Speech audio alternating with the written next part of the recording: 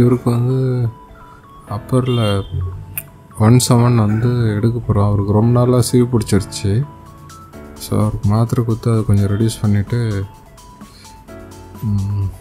பல் எடுக்கலாம்னு சொல்லிவிட்டு இன்ஃபில்ட்ரேஷன் கொடுக்குறேன் நான். ஒரு ரெண்டு மூணு வாட்டி ரொம்ப நடந்து போயிட்டு போயிட்டு வந்தார். ஏன்னா அவருக்கு சுகர் கம்ப்ளைண்ட் ஏகப்பட்டது இருக்குது ஸோ அவருக்கு இன்ஜெக்ஷன் போட்டிருக்கோம். இவருக்கு பார்த்தீங்கன்னா லோயர் மோலார் அட்டிட்டட் ஆகி ரொம்ப நாளாக பெயின் அவருக்கும் ஒரு பிளாக் ஒன்று கொடுத்துருக்கோம். ஸோ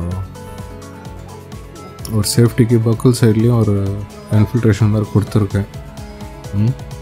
ஸோ இவருக்கு பார்த்தீங்கன்னா பல் வந்து ஈஸியாக தான் வந்துடும் ஒன்றும் பெரிய விஷயம்லாம் ஒன்றும் இல்லை.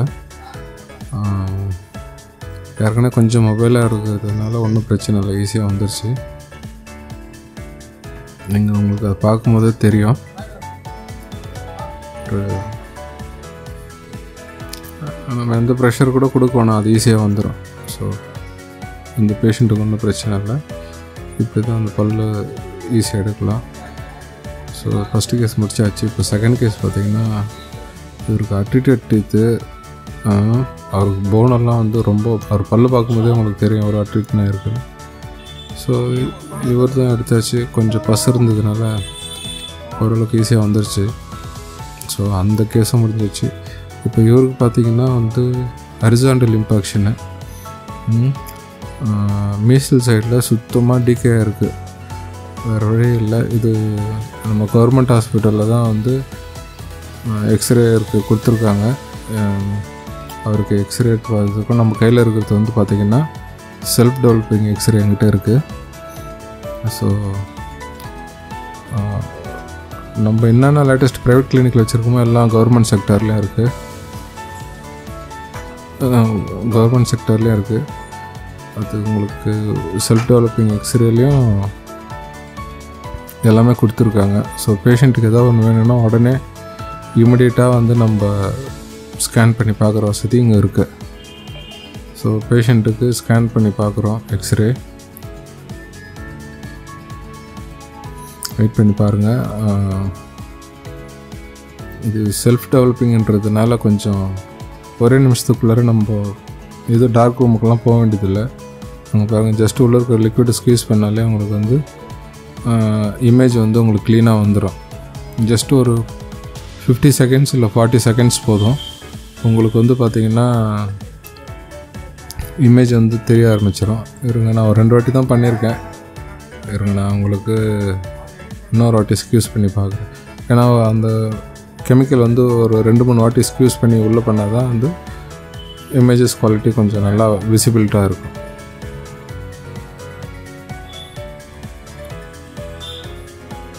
இவங்க ஓப்பன் பண்ண போகிறேன் இதை பாருங்கள் ஓப்பன் பண்ணுறேன் அது இமேஜ் என்ன எக்ஸ்ரே என்னென்னா எக்ஸ்ரே எடுத்தோடனே நம்ம உடனே வாட்டரில் டிப் பண்ணிடணும். டிப் பண்ணிங்கன்னா தான் உங்களுக்கு இமேஜ் குவாலிட்டி பர்ஃபெக்டாக இருக்கும். இல்லைன்னா அதுக்கப்புறம் ஓவர் எக்ஸ்போஷர் ஆகிடும் இங்கே பாருங்கள் அவருக்கு லோவரில் மீசல் சைடு சுத்தமாக போயிட்டுருக்கு செவனும் சுத்தமாக போயிட்டுருக்கு. ஸோ அவருக்கு நார்மலாக ஒரு இடத்துல வச்சு எடுக்கலான்னு தான் முடிவு பண்ணோம். அவர்கிட்ட சொல்லிட்டோம். எப்படியா இருந்தாலும் அந்த சர்ஜிக்கல் எக்ஸ்ட்ராக்ஷன் தான் பண்ணணும் அப்படின்னு சொல்லிட்டு. ஸோ அவருக்கு பிளாக் போட்டிருக்கோம். நீங்கள் பாருங்கள் போக போக இந்த வீடியோ ரொம்ப இன்ட்ரெஸ்டிங்காக இருக்கும். ஃப்ரெஷ்ஷாக முடிச்சுட்டு வந்தவங்களுக்கெல்லாம் இந்த வீடியோ ஒரு ரொம்ப ஹெல்ப்ஃபுல்லாக இருக்கும். அங்கே பார்த்தீங்கன்னா எவ்வளோ டீகே ஆகிருக்கு பாருங்கள் ஃபுல்லாக ஹரிசாண்டல் இம்பாக்ஷன் அது வந்து உள் சைடில் ஃபுல்லாக டிகே இருக்குது மீசல் சைடு ஃபுல்லாக எதுவுமே இல்லை பாருங்கள் அதை நீங்கள் வந்து நான் ஆக்சுவலாக வந்து இது மாதிரி கேஸ் எல்லாம் பார்த்தீங்கன்னா மேக்ஸிமம் நான் ஸ்டேட் எலிவேட்டர் ஒரு டெக்னிக் யூஸ் பண்ணி நான் மேக்ஸிமம் எடுப்பேன். பட் இவருக்கும் அந்த டெக்னிக் ட்ரை பண்ணலான்னு சொல்லிவிட்டு இப்போ ஃப்ளாப்பை வந்து ரைஸ் பண்ணுறோம் அவருக்கு.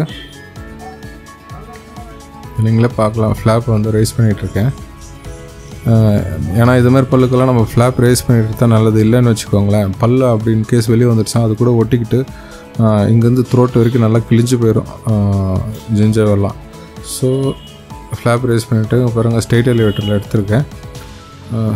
இது வந்து சும்மா ஜஸ்ட் ட்ரை தான் பண்ணுறேன் ஏன்னா இதில் ட்ரை பண்ணி வந்துடுச்சுன்னா ஓகே அப்படி இல்லைன்னா சர்ஜரி பண்ணிக்கலாம் அப்படின்றது மாதிரி ஃபஸ்ட்டு ட்ரை வந்து நான் பண்ணி பார்க்குறேன்.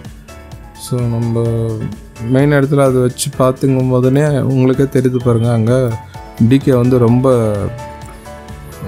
ரொம்ப ரொம்ப மோசமாக இருக்குது பல்லு வந்து ரொம்ப ஃபேமாக இருக்குது அவருக்கு வந்து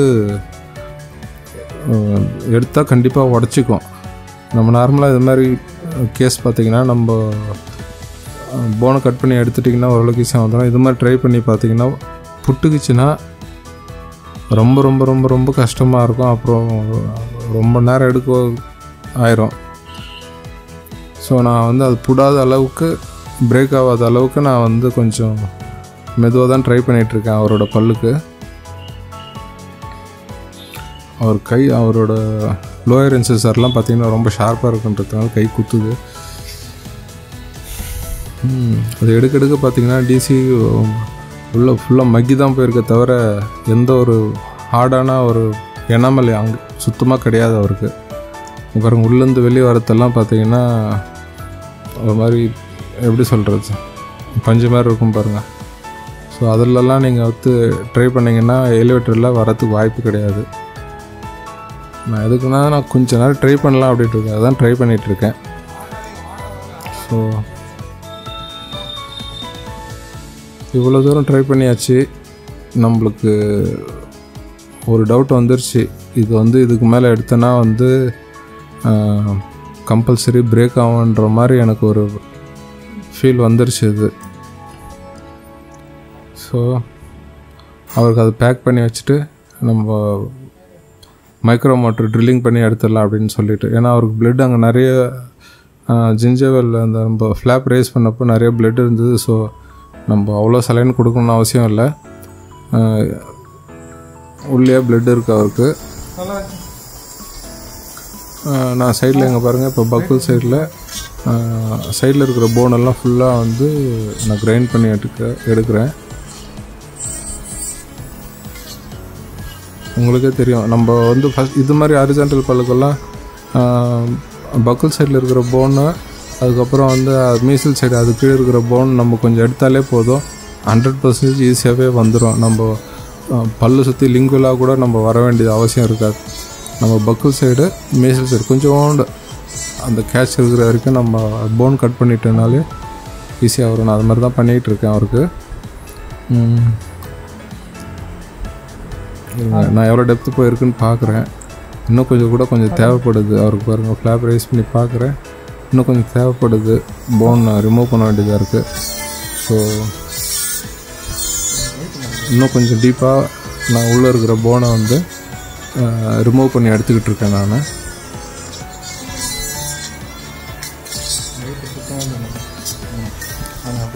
நம்ம பேஷண்ட்டை முதல்ல சொல்லிடணும் இதெல்லாம் சவுண்டு கேட்கும் முதல்ல ஒரு மாதிரி இருக்கும் பயப்படக்கூடாதுன்னு சொல்லிடணும் ஸோ பேஷண்ட்டும் சேஃப்டியாக தான் இருக்கார். நீங்களே பார்க்குறீங்களா நான் உள்ளே எனக்கு ஒரு கேட்ச் கிடைக்கணுன்றதுக்காக நல்லா பாருங்கள் உள்ள மீசல் சைடில் நல்லா ஆழமாக நான் போன் ரிமூவ் பண்ணுறேன் நான்.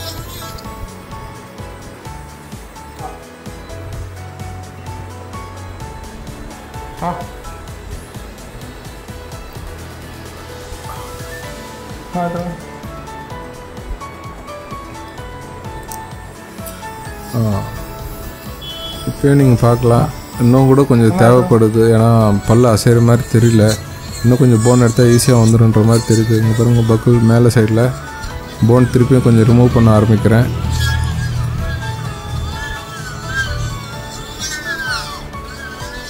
ஏன்னா இது மாதிரிலாம் கஷ்டப்பட்டு பண்ணிவிட்டு அது பிரேக் ஆயிடுச்சுன்னா வந்து இன்னும் ரெண்டு கஷ்டமாயிரும். ஆக்சுவலாக ஒரு பெரிய ஆஸ்பத்திரிக்கு போக சொன்னேன். அவர் எனக்கு அவ்வளோ தூரம்லாம் போக விருப்பம் இல்லை. ப்ரைவேட்லேயும் பண்ண அவ்வளோ காசு இல்லை அப்படின்னா ஒரே காரணத்துக்காக பிஹெச்லேயே வந்து இந்த சர்ஜரி பண்ண வேண்டியதாக இருந்தது. இப்போ நீங்கள் பார்த்தீங்கன்னா தெரியும் நான் போன்லாம் ரிமூவ் பண்ணிவிட்டு ஸ்டேட் எலிவேட்டரில் தான் எடுக்க போகிறேன் அங்கே பாருங்கள் எடுக்கும்போது அதனோட பாருங்க பல்லு ஷேக் ஆகிறது உங்களுக்கு தெரியும் பாருங்கள் நல்லா க்ளீனாக பார்த்தீங்கன்னா தெரியும். பல் வந்து லக்ஸேட் ஆக ஆரம்பிச்சிடும் ஓகே லக்ஸேட் ஆக ஆரம்பிச்சிருச்சு.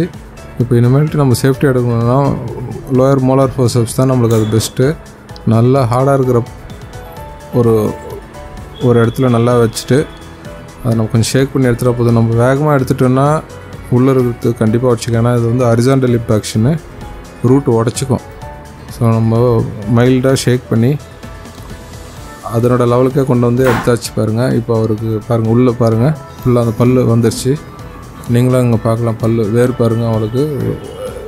ரெண்டு வேர் எவ்வளோ பெருசு இருக்குது பாருங்கள் ஸோ அந்த வேரோடு வந்துருச்சு அவருக்கு. ஸோ அவர் பேஷண்ட்டு சர்ஜரி நல்லா சக்ஸஸ் பட் இருந்தாலும் அவருக்கு வந்து போன் நிறைய ரிமூவ் பண்ணதுனால சூச்சர் போட வேண்டியதாக இருக்கும். ஏன்னா சூச்சர் போடலைன்னா உங்களுக்கே தெரியும் அங்கே பாருங்கள் எவ்வளோ பெரிய ஹோல்ஸ் அதிகமாக இருக்கும். விட்டால் ஆறிடுவோம் பட் ஆனால் வந்து ஒரு டுவெண்ட்டி டேஸ் எக்ஸ்ட்ரா ஆகும். சரின்னு சொல்லிட்டு அவருக்கு ஒரு சூச்சர் போட்டு அவர் சூச்சர் போடும்போது நாக்கு வச்சு என்னை தொந்தரவு பண்ணிகிட்டே இருந்தார். ஸோ ஒன்றும் பிரச்சனை இல்லை. நாக்கு ப்ரெஸ் பண்ணி அது நான் சூச்சர் போட்டுக்க வேண்டியது தான் ஸோ இது என்ன சொல்ல வரேன்னா நம்ம நார்மல் ப்ரைவேட் ஹாஸ்பிட்டலில் நம்ம என்ன சர்ஜரி பண்ணுறோமோ அதெல்லாம் வந்து பிஹெச்லேயே பண்ணிக்கலாம். கவர்மெண்ட்டோட பிஹெச் ஆரம்ப சுகாதார நிலையத்தில் நீங்கள் வந்து இது மாதிரிலாம் பண்ணிக்கலாம். இன்னும் அவங்க ஃபெசிலிட்டிஸ் நிறைய ஆஃபர் பண்ணாங்கன்னா க்ரௌண்ட் ப்ரிப்ரேஷன்லாம் கூட இங்கே பண்ணுற ஆப்ஷன் வந்து ஈஸியாக கொண்டு வரலாம். ஸோ இப்போதைக்கு வரைக்கும் இந்த சர்ஜரி இன்ஸ்ட்ருமெண்ட்டெல்லாம் பார்த்திங்கன்னா நான் கொஞ்சம் கொஞ்சமாக காசு எடுத்து வச்சு நான் ஹாஸ்பிட்டலுக்காக வாங்கி வச்சது. எனக்கு வந்து கவர்மெண்ட்லேருந்து வரல. அவங்க எக்ஸ்பென்ஸ் கொடுத்து வச்சிருந்த மெட்டீரியல் கொடுத்து வச்சிருந்த காசு சேமித்து இந்த சர்ஜிக்கல் இன்ஸ்ட்ருமெண்ட்டெல்லாம் வாங்கிட்டேன் நான். ஸோ எனக்கு ஒன்றும் பிரச்சனை இல்லை. என்கிட்ட ஆர்சிடி பண்ணுறது இருக்குது லைட் க்யூர் இருக்குது இது மாதிரிங்க சர்ஜரி பண்ணுறதெல்லாம் என்கிட்ட இருக்குது இப்போ பாருங்கள் சூச்சர் போட்டுட்டு அவருக்கு ஃபினிஷ் பண்ண போகிறேன் ஒரு ஒரு மூணு நாட் போட்டால் போதும். ஓகே அவர் என்ன ஒன்று நம்ம அது ஃபினிஷ் பண்ணும்போது அந்த சதெல்லாம் வந்து கரெக்டான பொசிஷனில் வச்சுட்டுனா சீக்கிரம் ஹீல் ஆயிரும். அவ்வளோதான் எப்படி நீங்கள் அவருக்கு பார்த்தீங்கன்னா தெரியும் உள்ளே எவ்வளோ இவருங்க பஞ்சு வச்சு தொடச்சி காட்டுறேன். அவர் பாருங்கள் பல் வந்து ரொம்ப க்ளீனாக ஹீல் ஆகிடும் இன்னும் ஒரு ஏழு நாளில் தையல் பிரிச்சுட்டேன்னா அவர் பேஷண்ட் வந்து நார்மலாக அவர் பாட்டுன்னு எது வேணாலும் பண்ணலாம். ஸோ அங்கே பாருங்கள் இப்போ க்ளீனாக தெரியுது எந்த இதுவும் இல்லை. இனிமேல்ட்டு நீங்கள் இது பண்ணிக்கலாம். இது மாதிரி தான் இம்பேக்ஷன் வந்து ரிமூவ் பண்ணணும். தேங்க்யூ